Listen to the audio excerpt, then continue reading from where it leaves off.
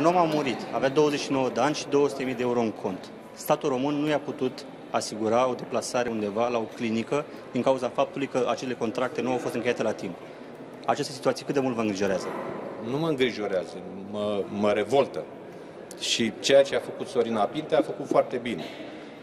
Și, ce, și trebuie să facă în continuare. După părerea mea, nu eu decid, pentru că premierul decide, ministrul sănătății trebuie să fie mult mai dur, mult mai radical, să taie în carne vie în acest sistem în care uh, statul român în permanență a pompat bani, noi am alocat sume și mai mari și deocamdată rezultatele nu sunt pe măsura investită și pe măsura uh, dorinței legitime a uh, pacienților români. Eu, eu personal, politic, îi acord tot sprijin doamnei Sorina Pintea. Și un om a fost condamnat la moarte, totuși. Da, da, domnul, ce vreți de la mine acum? Aveați nevoie de...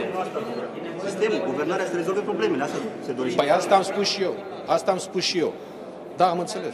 Ca să nu se mai paseze responsabilitatea între autorități, de exemplu, în- în domeniul sănătății. Pentru că dânsul, de exemplu, persoana decedată, după cum bine știți, s-a pasat dosarul său între diverse instituții, agenții, aici, pe domeniul sănătății. Ce ar trebui făcut tocmai pentru ca un astfel de caz nefericit să nu mai aibă loc pe viitor?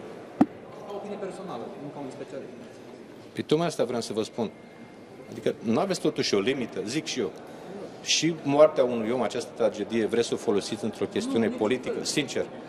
A spus mai devreme că este nevoie de opinia unui specialist. Păi să vorbească specialiștii. Nu să-mi dai eu cu părerea pe horurile Parlamentului. Asta nu fac.